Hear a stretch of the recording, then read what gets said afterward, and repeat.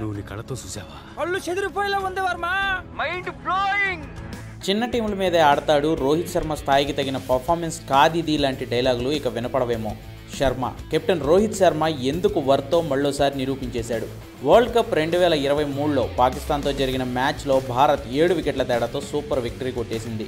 ముందు భారత్ బౌలర్లు సమిష్టిగా రాణించి పాకిస్తాన్ను నూట తొంభై ఒక్క పరుగులకు ఆల్అవుట్ చేస్తే నూట తొంభై రెండు పరుగుల చేజింగ్ చాలా సింపుల్గా మార్చాడు hitman captain Rohit Sharma. Bowler ఎవరనేది చూడకుండా ఎడాపెడా తనదైన ట్రేడ్ మార్క్ షాట్లు బాదాడు. మొత్తంగా అరవై మూడు బంతుల్లో ఆరు ఫోర్లు ఆరు సిక్సర్లతో ఎనభై ఆరు పరుగులు చేశాడు.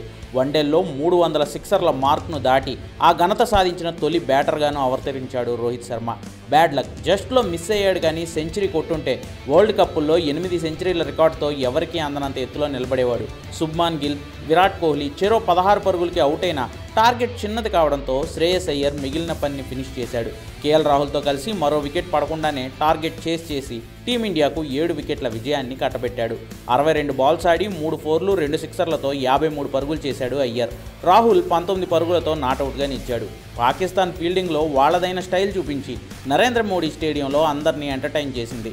పాకిస్తాన్పై విజయంతో టీమిండియా మూడు మ్యాచ్ల్లో మూడు విజయాలతో న్యూజిలాండ్ను కూడా వెనక్కి నెట్టి పాయింట్స్ టేబుల్లో మొట్టమొదటి ప్లేస్కు చేరుకుంది.